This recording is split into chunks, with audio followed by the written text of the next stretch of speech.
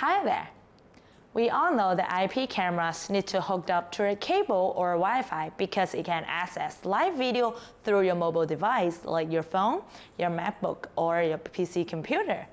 Now, actually, you can connect your IP cameras to your MacBook or PC computer directly. It can provide a better way to work on the cameras if you plan to broadcast on YouTube or Twitch. Now, there's no need to put your video through the network and it will send straight forward to your computers and you can upload the video to the platforms. Now today in this video, I'm going to show you how to send the video to MacBook directly. But before we jump to the video, please subscribe our channel Fast Cabling and make sure you hit the bell icon so you won't miss any of our updates.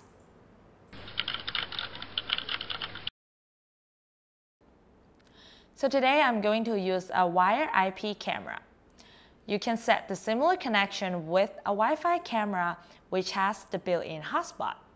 Now, I prefer IP cameras with cable connection for live broadcasts because it can provide a much more smoother videos. Now, let's take a look what we need. This is our 4K IP camera with PoE feature built in. Now it can be any type of IP cameras as long as it can supply the RTSP command.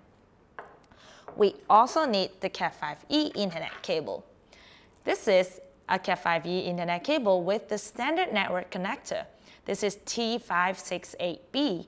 Now, it doesn't require any specific sequence for the connector as long as you can plug it into the computer and to the network and it will be fine. Next we have the PoE injector. This is a PoE injector. It will provide both power and data exchange for the IP cameras, so you don't need to put the power source at the edge device. Now, this is the AC adapter port, and we have the PoE port to connect with the IP camera and the LAN port to connect with our computer. And without saying, let's connect everything together. First, I'm going to connect the AC power port with the PoE injector to power it up. Next, I'm going to connect our camera with the PoE port. Here we go, the camera connection on this side is all set. And we are going to take the Ethernet cable and connect to our PoE port right here. And next, we are going to connect our computer with another cable. Let's plug it into the LAN port. And now, we are going to connect with our MacBook.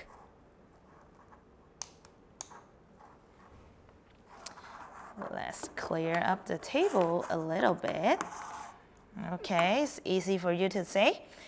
This is the LAN port to connect with our MacBook and the PoE port for our 4K IP camera. Now let's see. And I already installed the software. Let's connect everything tight. And it should go online shortly. Now, here we go we can see the live, is the camera is alive, and we are set to go. So PoE technology is a safe technology in case you worry. The PoE technology provides low voltage power. The PoE injector will first convert the AC power into a low voltage DC power. And it also has power handshaking, which means it will verify the edge device first. If your edge device is not PoE compatible, that means the injector will not sense the power at all. Now, if you cannot make connection with the cameras, make sure you check with two things. First, make sure your firewall is disabled or you set rules to allow your camera to pass through because the firewall will block the camera connection or broadcast message from the software. Now the second thing is the IP setting. Now, MacBook cannot assign IP address to camera, and DC com PC computer doesn't have the DHCP function. So if your camera doesn't have the same network range setting as the MacBook, the software cannot establish successful connection to the camera. So usually we use a vendor-specific software to change the IP address of the camera. In the earlier operation, I already installed the software on my MacBook, that's why it worked. Now, today we attach the IP cameras to the MacBook directly.